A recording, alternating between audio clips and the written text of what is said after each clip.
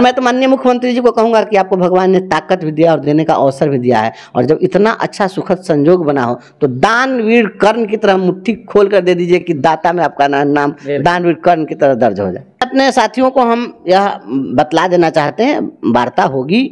और यदि मुझे बुलावा आया क्योंकि बुलावा भी आजकल जो हो रहा है उसमें भी बहुत सारा समीकरण काम करता है। तो अगर मुझे बुलावा आया और मैं वहाँ गया तो मैं मुख्यमंत्री जी से मात्र एक सवाल पूछूँगा। मेरे मन में है एक सवाल जो मैं वहाँ पूछूँगा।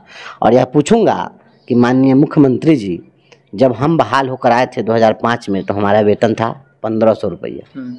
आज हमें वेतन मिल रहा है चौवालीस हज़ार रुपया।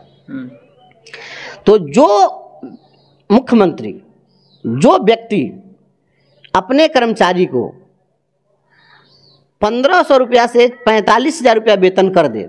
और इसके बावजूद वह अपने कर्मचारी के दिल में जगह नहीं बना सके तो इसका जिम्मेवार कौन है? ये सवाल मुझे मुख्यमंत्री से पूछना अभी जो वार्ता की स्थिति हुई है आप इतना इतनी आलोचना सुनने के बाद इतना लोगों को पिटवाने के बाद में इस इस कदर तंग करने के बाद में आप वही काम कर रहे हैं। जब वही काम आप करते हैं तो पहले ही आप प्रेम से करें। जब जान रहे हैं कि हमको यही करना पड़ेगा।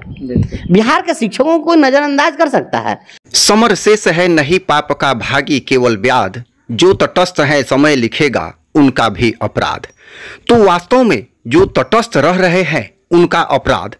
समय स्वयं लिखेगा, और अपराध ही नहीं लिखेगा, बल्कि समयानुसार उन्हें दंडित भी अवश्य करेगा। सर्वविदित है कि सभी शिक्षक साथियों को समझौतानुसार माननीय मुख्यमंत्री तथा शिक्षक संघ के नेताओं के साथ होने वाले बैठक का बेसब्री से इंतज़ार है।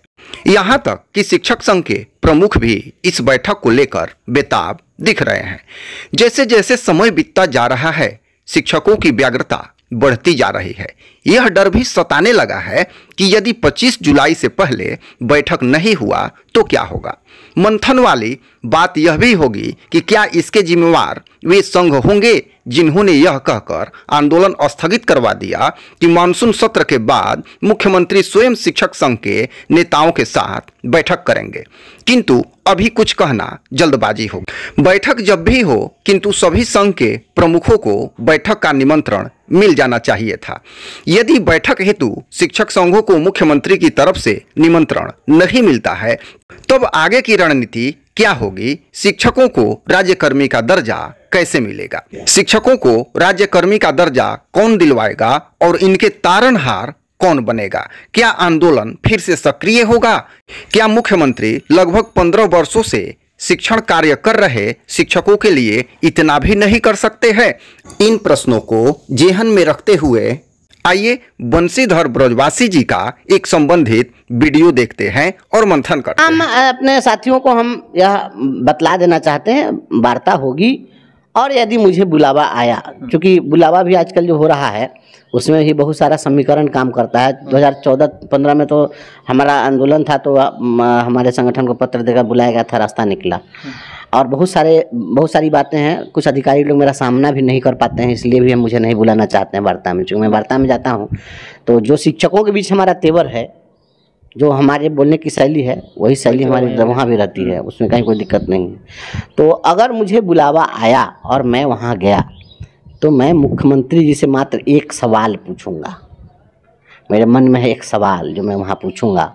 और यह पूछूँगा कि माननीय मुख्यमंत्री जी जब हम बहाल होकर आए थे 2005 में तो हमारा वेतन था पंद्रह सौ रुपया। आज हमें वेतन मिला है चौवालीस हज़ार रुपया।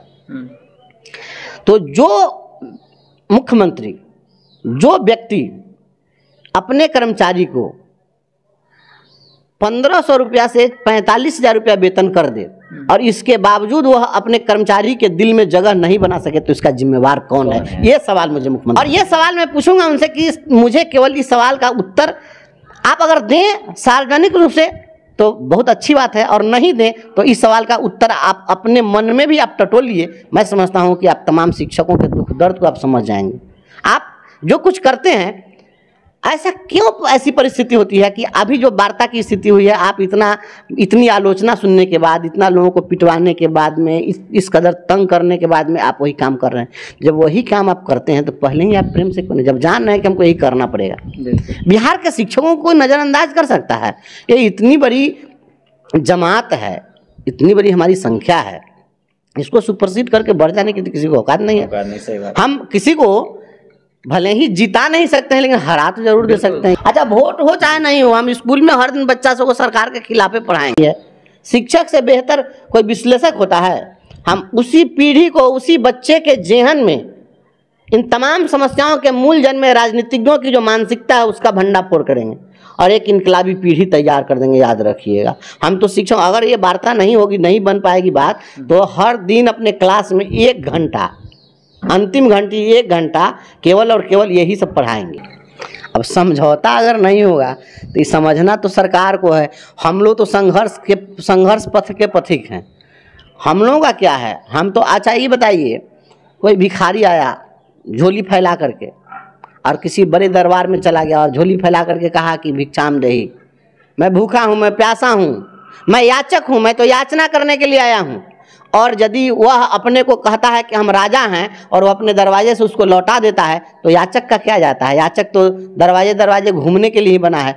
जाता तो उस राजा का है, उसकी गरिमा, महिमा पर लांछन लगेगा, कलंक लगेगा कि ये याचक आए थे और वह कुछ नहीं दे सका। जो कुछ भी नहीं दे सके तो वैसा अरे मैं तो कहता हूँ, मैं तो पिछली बार भी कहा था, सरकार को जिस समय वेतनमान मिला था, फिर मैं वही बात कहता हूँ। हर किसी को भगवान देने की ताकत नहीं देते। हैं और अगर किसी को देने की ताकत देते हैं तो देने का अवसर नहीं देते हैं। बिल्कुल। और मैं तो माननीय मुख्यमंत्री जी को कहूँगा कि आपको भगवान ने ताकत भी दिया और देने का अवसर भी दिया है। और जब इतना अच्छा सुखद संजोग बना हो तो दानवीर कर्ण की तरह मुट्ठी खोल कर दे दीजिए कि दाता में आपका नाम। दानवीर कर्ण की तरह दर्ज हो जाए।